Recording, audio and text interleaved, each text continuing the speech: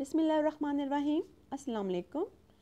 It is class 5 English lecture number 1 from the Broadway English and the story is number 1 Oliver walked to London. As we already have done the reading of this story in our previous class, students should revise and read this story properly again and underline the difficult words. Here are some words meaning of this story. Number 1 is undertaker.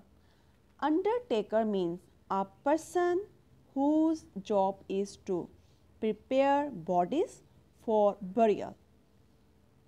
Number 2 is how workhouse. Workhouse means a place where very poor people went to live. The third one is supper. Supper means a light meal. Fourth one is magistrate. Magistrate means a judge. And the last one is carriage, a vehicle with four wheels. These are some words and their meanings. You have to learn them properly with proper spelling. Next one is the summary of Oliver walk to London. As we know, a summary is a shortened version of a text that highlights its key points. Let's start our summary. It was the story about a boy named Oliver.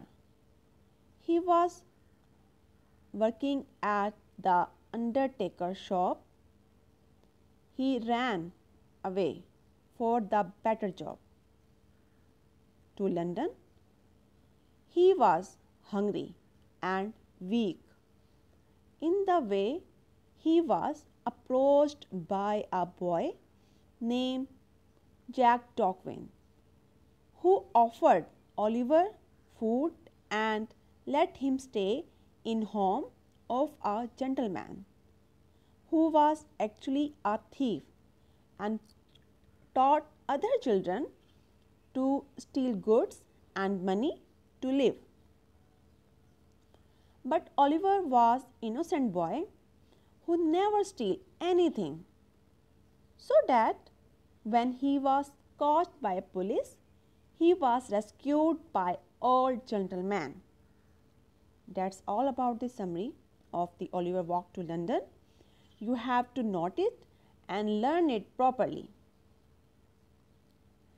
Next one is the character sketch of the Oliver Twist from the, the character from the Oliver Walk to London. Actually, it is the main leading character of the story. The character sketch is an elaboration about the characteristics of a specific character. Here are some basic traits we have to mention and discuss in the character sketch of our story.